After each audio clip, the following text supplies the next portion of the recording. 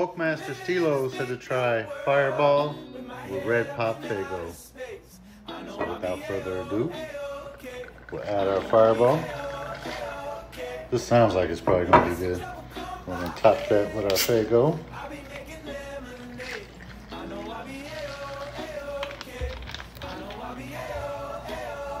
Give that a quick spin.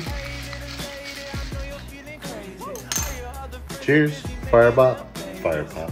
Fireball and red pop Faygo. Cheers. Well, goddamn. That's fucking delicious. That's that's a 9.5 out of 10. Cheers. Hit those comments with more drink ideas.